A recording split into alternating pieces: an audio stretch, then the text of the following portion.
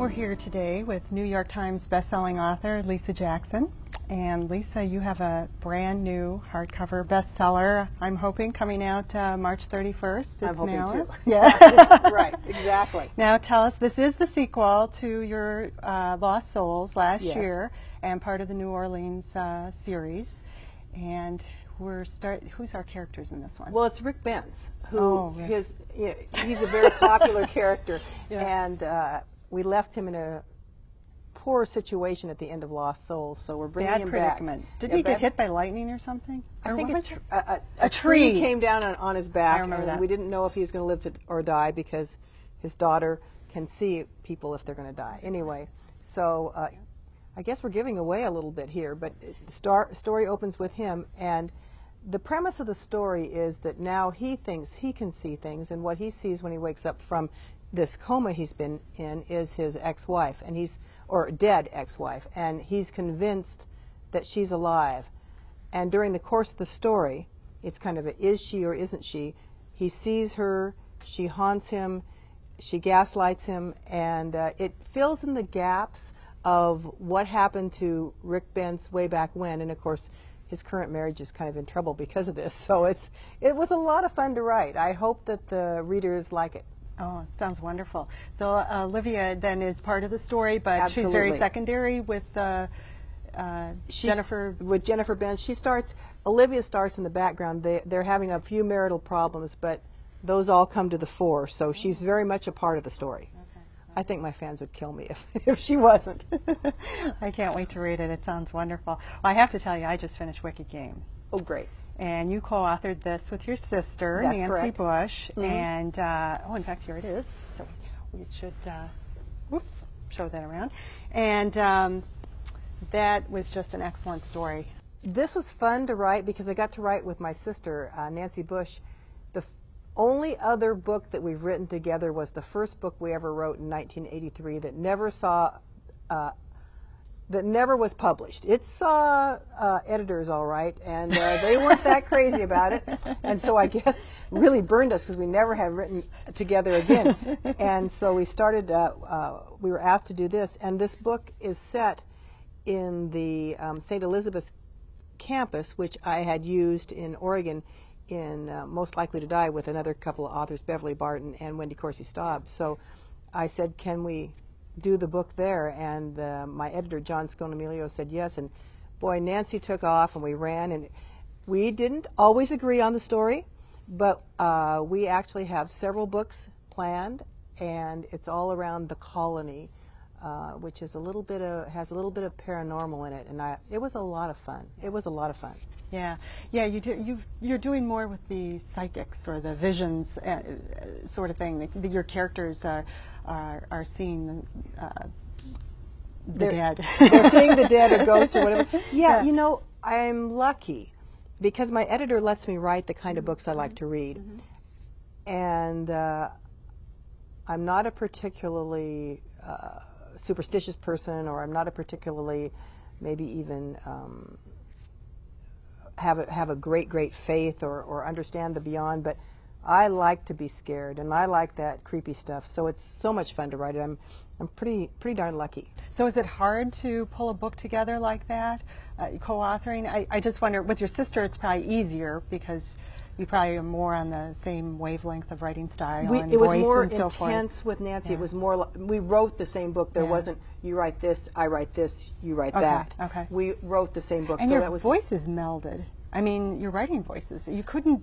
I could because I purposely was looking for it. okay. Good, good, good. Well, I'm glad to hear that. a difference, and there is none. I mean, it totally it works wonderfully. well, the way we did it this time, Nancy wrote it, I overwrote it, Nancy overwrote it again, Oh my God. so it got written many, many times, and then I read the copy edited, or she read the copy edited. So yeah, we wanted it to be one voice, and um, she's still alive. I haven't killed her. I mean, we didn't have too many um, disagreements. We wrote this whole backstory, which is only uh, briefly touched on in this book, and we'll be we're writing another one that takes off at the, where this one leaves off. That will come out in 2011, Whoa. I think. Yeah. Wow. Great. Yeah. Okay, so you have to tell us a little bit about the Binkster.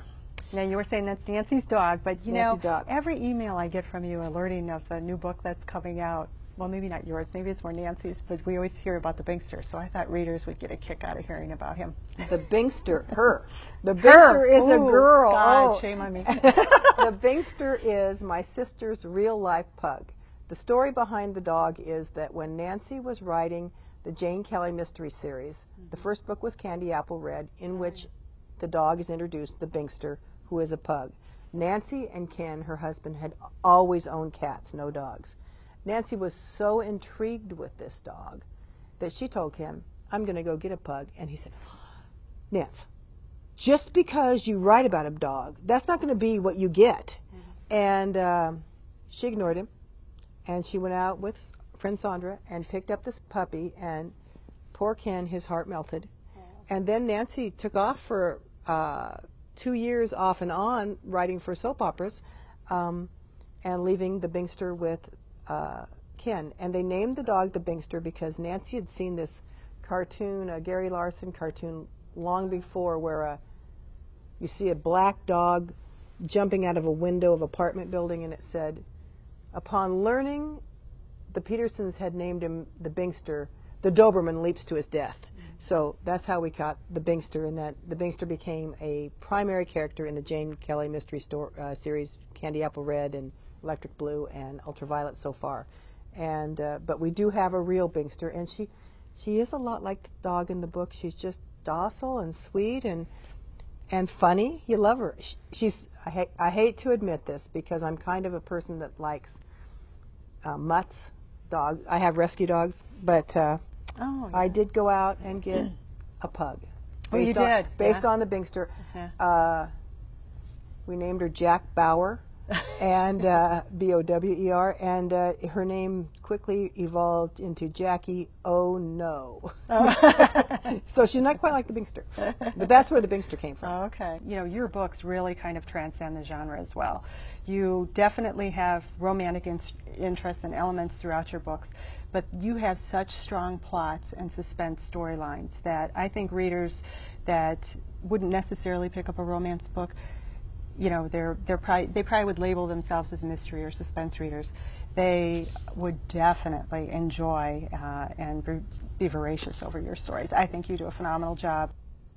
I started out in romance, and I always put a little suspense in my books, even when they I wasn't supposed to, because I like suspense. And I really wasn't a, when I started writing romance, I wasn't a romance reader, but the more I got into the genre, and then when I got to break out, I always like to keep romance in. I just think it adds an edge to the suspense, and the suspense polishes the romance. I, they they work hand in hand Yeah. for me so well. I mean, the, you do it so well. Yeah. well, thank you. You were talking that you, you like books that have a lot of uh, suspense and, Yes. and uh, paranormal kinds of elements. So, who are some of your favorite authors then?